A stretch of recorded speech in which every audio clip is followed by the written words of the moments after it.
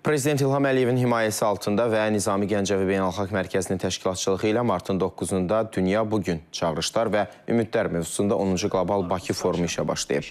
Prezident İlham Əliyev forumun açılış mərasimində iştirak edib.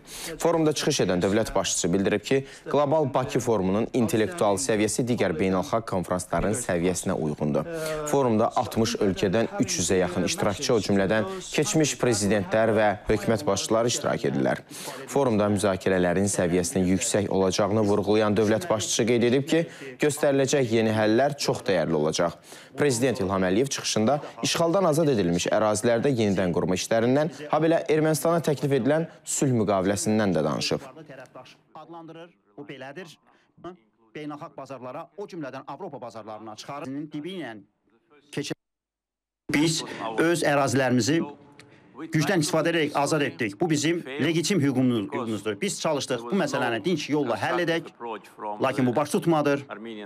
Təbii ki, Ermənistan tərəfindən konstruktiv ə, yanaşma olmadı və biz güc tətbiq etdik və öz ərazilərimizi azad etdik E, və 2 ildən, 2 il yarımdan çoxdur ki, biz hazırda 10 min kvadrat metrlərlə ölçülən ərazilərdə bərpa işlərini aparırıq. Çünki orada çox böyük dağın, dağıntılar var.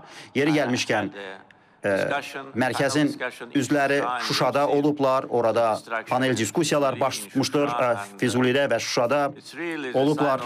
İştirakçılar iştirak ediblər və orada urbitsit, ə, bəs mədəniyyətin ə, məhv olunması və ekotsit həyata keçirilib və bunu bizim qonşularımız edib. Azərbaycan xalqının mənəvi hüququ var ki, biz qisas almalıydıq və mən bunu anlaya bilərəm.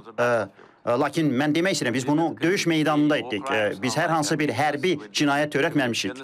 Ermənistandan fərqli olaraq biz hər hansı bir soyqırım etmədik Ermənistandan fərqli olaraq və biz bu nailiyyətləri döyüş meydanında əldə etdik. İndi isə artıq sülh qurmaq vaxtıdır. Ona görə 2020-ci ilin noyabrında ə, biz təşəbbüs irəli sürdük ki, dinç yolla danışıqlar aparılsın və 5 məşhur prinsip var ki, və onlar da Ermənistanla sülh müqaviləsinin əsasını təşkil edə bilər və biz ümid edirik ki, beynəlxalq iştirakçılar hansılar ki, burada çalışırlar, vasitəçi rolu oynasınlar.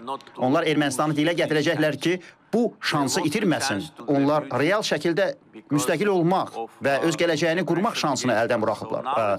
Onlar bizə qarşı getdilər. İndi isə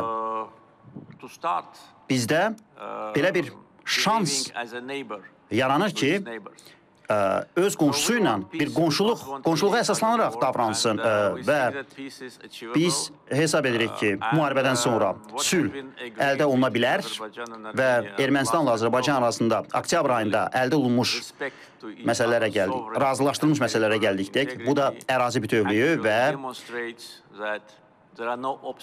bu əslində onu göstərir ki, sülhün əldə olunmasında hər hansı bir maneə yoxdur.